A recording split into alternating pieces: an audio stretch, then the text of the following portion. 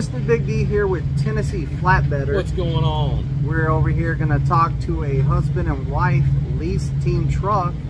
Simple Plan Trucking is their YouTube. Make sure you go follow it, check it out. They have been interviewing instructors and they're coming out with a new series on it. But we're going to talk to them about how it is living together on a truck, a little bit about lease, company driver, and the lease driver being in the same truck, and um, if they try to kill each other yet. Who knows?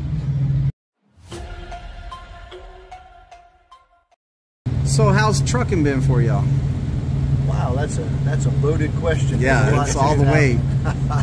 well, I guess uh, to, to start, we we, get, we started uh, together as a team um, around the end of March. Right, the end of March was where Brooke tested out. She got her CDL, and the timing was great for us because I came in the very same week to upgrade. Um, a lot of people may be raising their eyebrows at that and thinking, "Wow, you're brand new and you're training."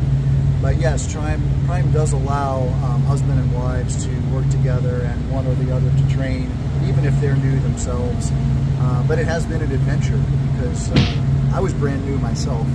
So Brooke came out on the truck and, and I'm trying to teach her how to back. And, and the truth is I barely knew how to back myself. So mostly I've been uh, doing most of the backing and she's been um, slowly coming on and doing a little but uh, it's okay because it wasn't as if she was going to upgrade and then be off on her own. She continues to stay with me on the truck, so she was, she's still learning at a slower pace, and we're both kind of learning together.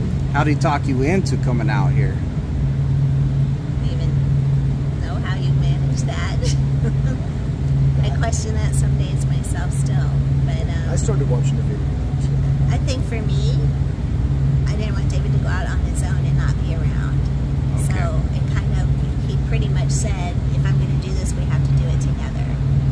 So I was kind of cornered, and I knew it was something that he wanted to do. I knew that he um, was kind of at a in a dead spot at the VA. He just wasn't enjoying his job, and um, he was ready for something new. So kind of adventurous. So I thought I would give it my all, and I committed to a year, and I committed to do my best.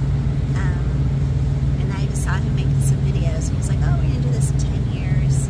I don't know where that came from, but I said 10 years, we've compromised on five now. We'll do it for five years. Okay, five years. but I fully committed to a year. Fully committed to that Let me just year. be clear. But, you know, in in all honesty, there's more to the story than that. I, I did work at the VA, and I, I had a lot of satisfaction in my work. I was a registered nurse by training. That's what I'd done for the last 15 years. And I had risen, you know, pretty high in the VA. I had a good job. I made close to six figures. Uh, and people would say, well, why would you ever leave that to come and start a new career in trucking? A lot And so did say a lot of people did say that, my family included. And um, but but the real kicker for me was, uh, I'm sure you all remember a couple years ago that the uh, our government came out and made the decision that all federal employees were going to be required to take the COVID vaccination, and uh, that would have included me working in the health field. And uh, you know, not to get political at all, but I just have a real problem with the government telling me that I have to do anything.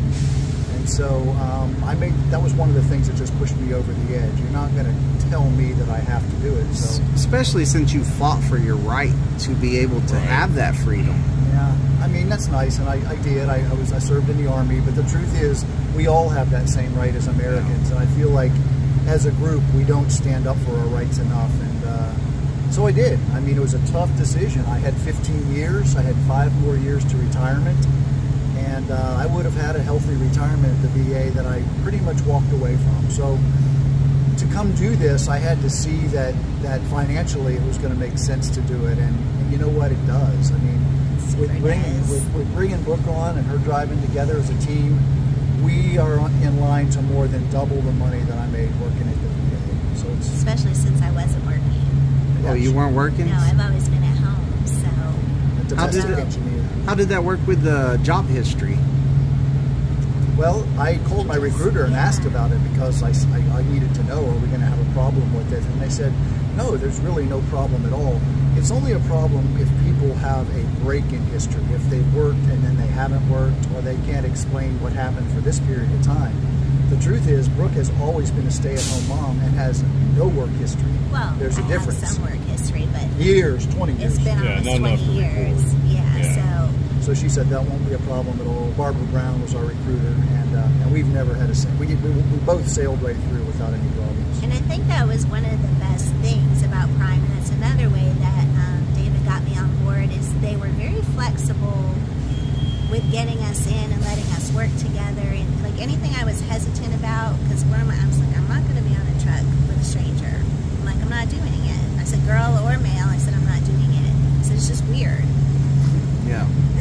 Now I say that, but I know there's like hundreds of people out there doing that, and I say God bless you because there's like privacy time that you know, and personal time, and we get stinky and just you know, just I'm we go longer than we'd like to sometimes without yeah, a shower. The and, job and I get for that. tired and cranky, and and I'm like, I think to myself, you know, all the people that um, all the other students that I trained with for PSD and stuff like that, and they went out on the trucks, and I'm like, what is it like for them? I'm like, because I can get away with whining or complaining about something to David, and he still loves me and isn't going to kick me off the truck.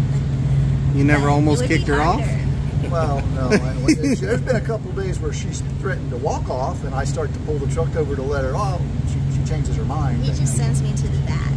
So there are some spats out there with a husband and wife on a team truck. Just to Well, say, we went from banter to quarreling to some right out yelling. Yeah, it, we would be lying if we told you that everything was sunshine and roses. Yeah. Um, Definitely not. It's not. I mean, there are a lot of challenges being new together on the truck, and and the truth is, I used to go to work every day and come home at night, and we would be together in the evenings and some on the weekends. Well, now we're together every minute of every day, and I love it because I love her. But I won't say that it's without its challenges. You have no private time or personal time at all. Sometimes you just got to get out for a walk I was answering someone's comment, and um, she was talking about the arguing that her and her husband do on the truck. And I said, I feel like I live in my husband's man cave, and I can't get out. Like there's no way out. I never thought about it like that. I This live kind of in is. his man cave because even there's you can't girly it up, you know. Like Right. trucks are dirty, and so it's just I'm in the man cave, and it, there's just no escape. So I have the best of both worlds. I get to live in a man cave, and she keeps it clean for me. And then you never get that satisfaction of that shirt, that curtain slamming shut. You got to kind of have that, that cabinet It's open as you slam the curtain and slam that door. door at the same time. I threatened one time that, up that tight. you can't keep quiet. You can't, you can't shut. I mean, she can go behind the curtain, but that mouth doesn't stop. He's like, "What are you saying back there?" Well, I wanted you to I threatened to get a little cart to hook on behind the trailer that when she gets out of line, I'm going to tell her to go get in her box for a while. But The good thing It might end up being your box, you're though. exactly right. Yeah, that's, that's the I truth. tried. The good thing is, it's fleeting. You know, any any little things that happen, they just they're, they come and they go, and you know, five or ten minutes later, everything's just You have to be able to let to the normal. words. You have to be able to let it go. You know, things are said in frustration, in anger sometimes, but uh, the, the, the bottom line is we're together and we've been together a long time, and we're going to be together in a long-term marriage, even when it's challenging. You have to forgive and forget. And good communication goes long ways. So uh, it's great We're- to have a good working on that. communication going. Yeah, that's the biggest thing I preach with all my students, my kids, any part of my family. Communication is key to make anything work, regardless if it's family or a student. That's, absolutely. So, sometimes I think I fail her because she is my wife, where I don't communicate as well with her as I would if it were a stranger, because I would feel like I needed to, like I had to explain that Right. better. Where I'm like, sometimes I'll be like, well, we're just going to do this. And she'll want to know why, and it just opens up. a Well, in some worms. of our arguments, it's really funny because by the time we get to the end of it, we were literally saying the same thing, just differently. Just different. And so it's just like constant, you know, we're using different words or different angles or whatever. And then by the end of it, I was like, we're saying the exact same thing. We meant the same thing. And so it's kind of silly, but just work through it. Absolutely. so Now, go ahead. how is it with the, the way you guys operate, uh, the income coming in? I, I know you're a lease and you're a company. Company. So, how how what's the benefits and the cons against that? If you've seen any cons at all yet?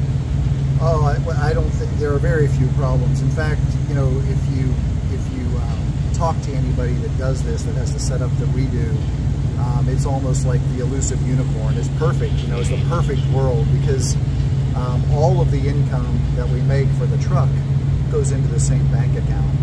So, you know, if if you were to team with another person, that income is split. Maybe not 50-50. The, the lease driver would pay the company driver whatever they agreed to.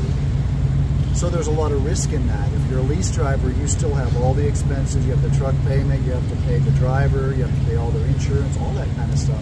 Do you pay her more than you would pay a normal teammate, I or pay her much less. I Much pay less. minimal, Pays me as little as as little as possible. possible because you need to tell them you're worth more than that? It's okay.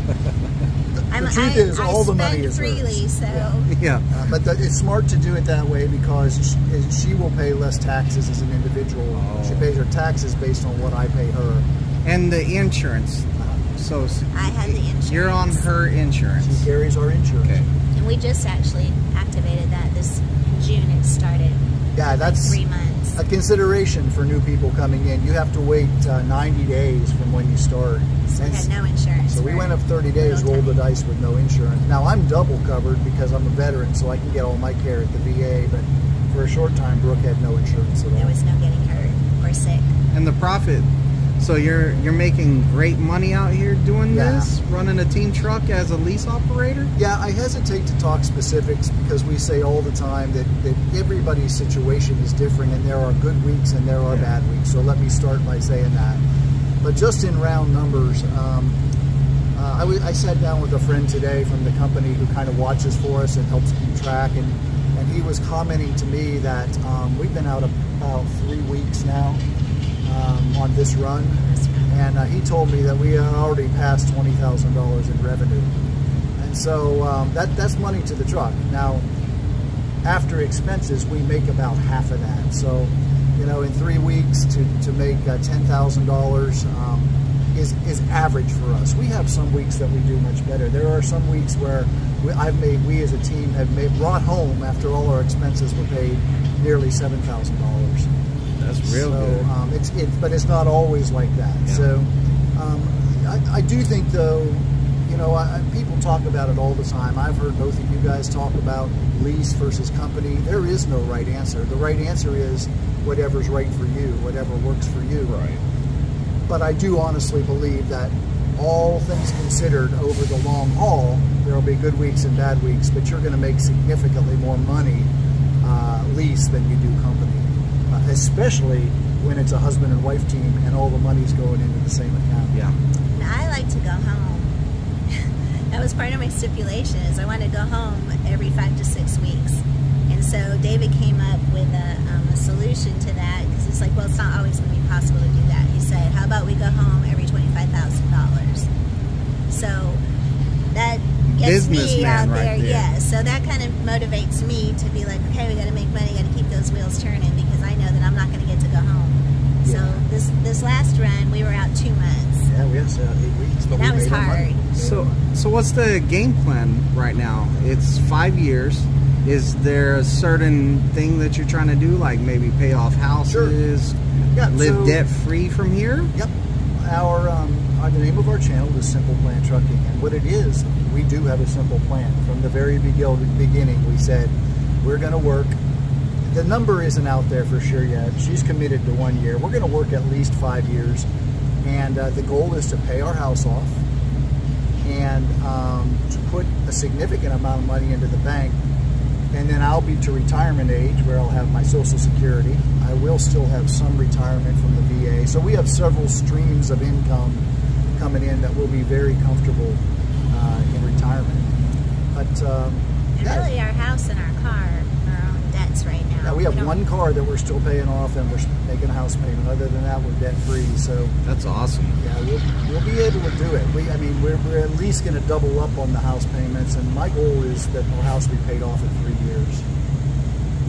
So, you know, for us, that's an $1,800 a month payment that we won't have in retirement.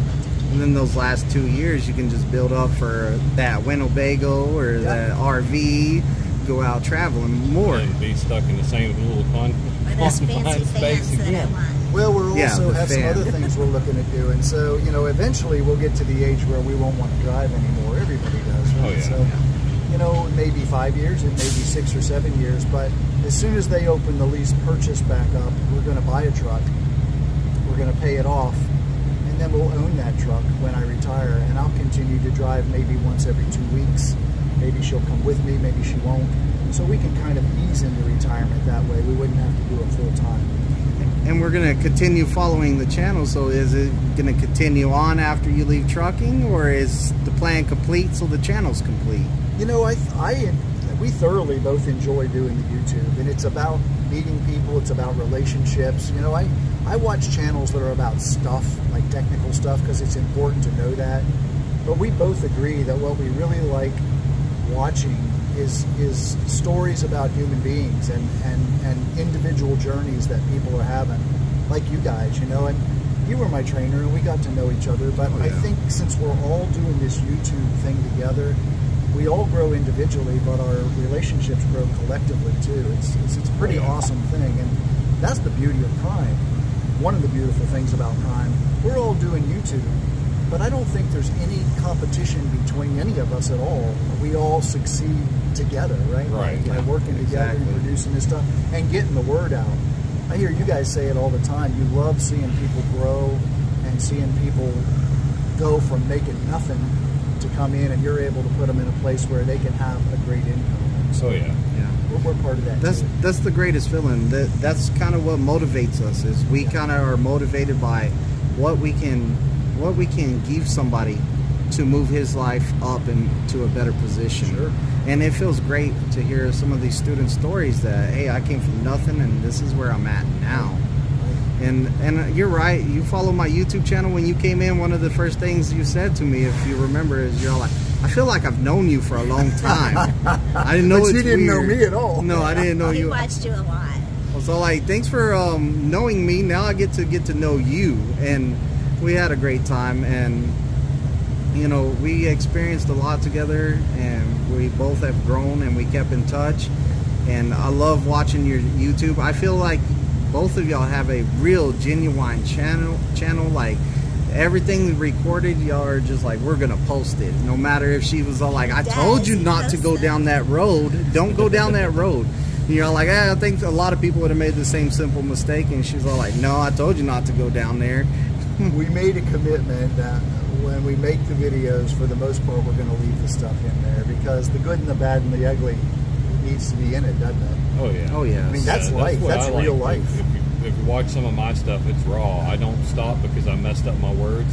If if you don't understand me, keep watching. You'll get to the point where you'll you'll see what I'm talking about. And my wife always says I don't English. I winglish. I wing it. So uh, I just keep it in there. When I say something messed up, even in our lives, Yeah. he jokes at me.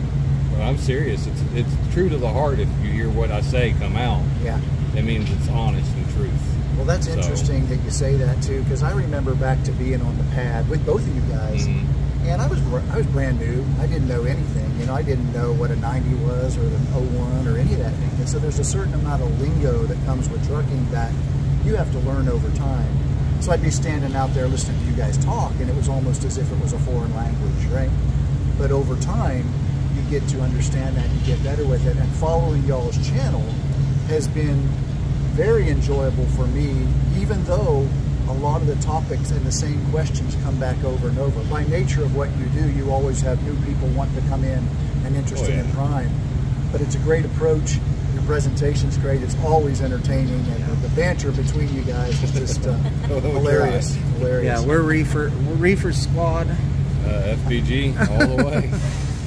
And yes, Captain Dave is in reefer, so let's get that out the way. Oh yeah. yeah. oh yeah. We uh, Brooke and I drove by last night. Uh, we we came by the wash that day, and there was a, a, a young man out there strapping down his load on his flatbed, wringing wet with sweat, working working like crazy. And I looked at her and I said, "Would you ever want to? Is there any any day ever that you would think about wanting to do He was shaking his head. He's just like, there's no way. There's So, no way. You should talk him into going flatbed because then, then whenever y'all finish the five years, he's gonna be all big and buff and. like I'm There's not no now. Come on, man. Oh, he's still, but even bigger. No, I, hey, tip of the hat to you, uh, Thomas, and anybody who chooses to do flatbed. it has to be a calling. Oh yeah, flatbed is a lot. It's a it's a want to do it. Um, I've had just my interview with my student. He went flatbed, and then halfway through TNT, he's like, "I hurt my back trying to lift the load. It was windy. It was raining. I just can't." And he switched over to to reefer. Yeah, and that's a beauty And- you can. But uh, the the person that was sitting behind me, he stayed re- flatbed the whole time. So, and then he just actually got his picked up his truck today. Yeah. So, And I was telling you about another friend of ours, JDQ Transportation. He's got a YouTube channel. Started in reef, uh, started in flatbed, came to reefer, and he missed it so much that he's getting outfitted right now. He's going back to do flatbed Sounded again. like Oh, you yeah. couldn't wait to get back into it. Switch back and forth, try different. Who knows? One day I might do flatbed, but don't hold your breath. Yeah, I don't think so. About your TNT, so I know that you had more than one TNT trainers. Yeah. Brooke must be able to get along with people a lot better than you because she only had one trainer. Well, that- that's a loaded question. That's not going to change anyway. But it really wasn't anything like that. Um, with uh, I, I started off, as most people know, with um, uh, Eric uh, with driver lineup, and he did a great job. Uh, we started we started started off and, and, and got along great. Um, we had an issue with the truck, which the truck was broke down for about a month. Uh, he had a brand new Pete, and as you know, the Pete's come out. They've got issues. They got to be worked through, whatever. And you compound with that, with his wife was getting ready to have a baby. She was pregnant, and I, I think somewhere along the, the way he decided he wanted to be at home. And hey, more power to him. He's moved on now. He's not even. He still has his fleet, but he's not trucking himself anymore. He and his wife have moved, and they live in San Antonio now. But you know, I'm very thankful to have had him at the beginning. Finished up with uh, Jacob at JDQ Transportation, young guy, young enough to be my son. But you know, he and I hit it off great. We had a good time too. In fact, we uh, went out to eat the other night while we were in town. So I uh, think David learned a lot having two different trainers because he had two completely different experiences with both of them, and their ages were very different, and the amount of time they've been working was very different. So, in the long run, I think he benefited benefited. Yeah, I had many gaps. You know, as you know, we had COVID. I was home for a month for PSD. I was home for a month in TNT. So it took me a long time to get through all my training. But like I told you yesterday, you know, God has a plan for all of us, and believe it or not, I came in to upgrade the same week that she passed her CDL.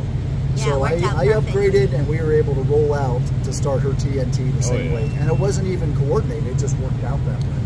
So how is it for how is it for a woman to be over the road? Because a lot of people like to ask this, and they're all like, "It's hard for a woman to be out there." Is it much different? The bathrooms are a little tricky. Um, I wouldn't say it's different. I just don't think you're not going to get any pretty time out there. Like, there's no. You can be. I try to be girly, but like it's it's a dirty job. Um, it's a dirty, sweaty job. I'm tired most of the time just because it's hard to sleep on a moving truck, and when you're teaming, you really don't stop. So. Um, I think when you are, are on there by yourself solo, you get that 10 hour break, and so you're, you're still and you probably get more rest. But it's it's hard. I'm not the type of person that needs to, um, or the type of woman that like I don't need to prove myself to be out there with the guys kind of thing. Um, but I do get satisfaction in knowing that I can do the things by myself. And you found ways to deal with most of your problems, right? Like restrooms, you may stop a little bit earlier or go into a I ship. never miss an later. opportunity to use the restroom. So David's on his shift. He's like, I want you to get some sleep. I'm not going to wake you up. And I said, if you stop, you better wake me up. Because I just... Just have- in case. Just in case. And so, because, you know, you go to those... Um, the truck stops have clean bathrooms. You go to these places, like, we've been to Walmart and, I don't know, some places that I'm like, you're kidding. I'm not, I'm not going in this restroom. I'm like, there's just... This restroom was built and then no one else ever, no one ever came in here to clean it. Yeah. Like that's legit. I'm like, it was built. It was probably nice for about a month, and then it's like straight out of a horror show. So, Well, I so think though too that, and I'm gonna. So I think a lot of it is your point of view on things. You know, we come to it from a little bit different perspective. Brooke wants to do life on the road. I want to make money. So you know, there have been days where I've told her, you either get to sleep or you get to take a shower, but you're not going to do both right now. And, and I'm serious when I say that. She gets mad at me, but she knows now that in a team truck, you got to keep rolling. You got to keep rolling. The wheels ain't turning. It's not making That's money. right. Right.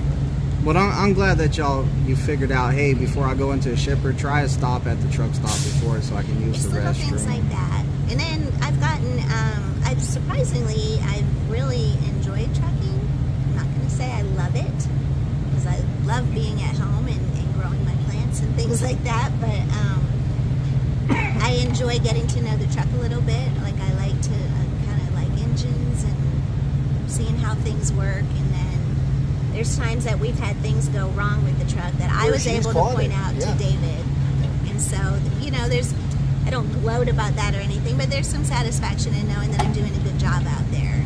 It just day before yesterday, the thing that brought us in here was we, we left a we left uh, we did a pickup and we got down the road and the air air pressure was lower than it needed to be. It looks like there's something wrong here. And when I tell you there's something wrong, I'm usually right. He was arguing with me about it. The little, that little red button, the brake thing was going, "Shh, it's not supposed to do that. So, we, went back over. and forth, and I was driving, and I was like, it's not supposed to do that. That should stop. And so, sure enough, it'll be fine. It'll be fine. I pulled over, and the whole, what is it, the, The, brake the trailer airbag, the on the airbag left was side not only was was deflated, something had hit it and knocked it off the base. It was completely shot. Hmm. We picked up the trailer and did, we didn't catch it on the pre-trip. But so we called Road Assist and they said, well, you're only about 60 miles from Springfield, bring it on in. We did and they switched it out and we're ready to go. But more times than not, Brooke's the one that catches that stuff. Um, so she Our is, hub seal is leaking. I'll be the first to admit she's more mechanical than I am. So, uh, one more question before we finish. Ha- I always hear about team team drivers leaving teammates at a truck stop. Has that happened yet? Have you left her or she left you on accident? We, we joke sometimes and say she would get no, not on accident. No, we, we wouldn't know.